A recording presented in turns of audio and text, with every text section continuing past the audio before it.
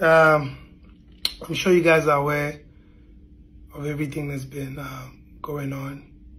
And I decided to tell my side of the story. Um, first of all, I'd like to confirm that everything that my baby mama said about me was true.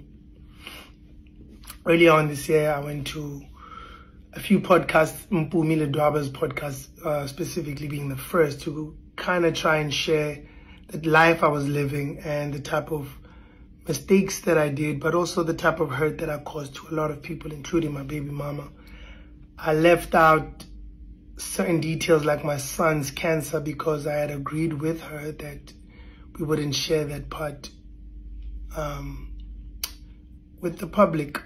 And I thought I was honoring her and my son, but maybe it might have come off as me trying to defend myself. So with that being said, I wanted to confirm that as the truth. Might not be the whole truth, but uh, I wanted to take accountability for my part and say that is the truth about the person that I was. Um, it is something I'm not proud of, but it's an important part in my life because um, that's definitely part of me. It's, it's, it's, it's, it's part of my history and that's something that I had to grow from. And it's something I had to forgive myself, you know, um, for. Secondly, I'd like to say, you know, gents, when you make bad decisions in your life, these are the consequences. This is what happens. Not only do you hurt people, but you also don't get to choose how they deal with the pain that you caused them. So I understand uh, the mother of my child coming out and sharing um, it the way that she shared it. And I hope that um, it gives her a little peace because, I mean, it's not something that you can just grow from um, immediately.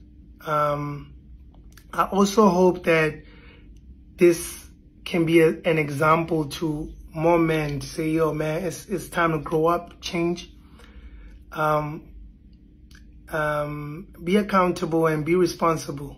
Um, with that being said, I'd like to close off, you know, with just saying, um, I'd like to apologize to the mother of my child. I'd like to apologize to her family. I'd like to apologize to my family and everybody I put in this mess. This is the mess that I've created.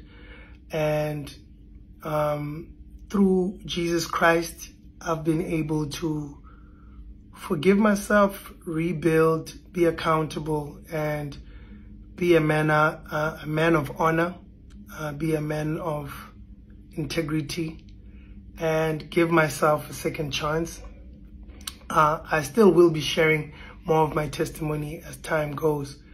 Um, the the truth shall set you free. And I just wanted to say, I'm sorry. Um, and hopefully you will find it in you to forgive me one day.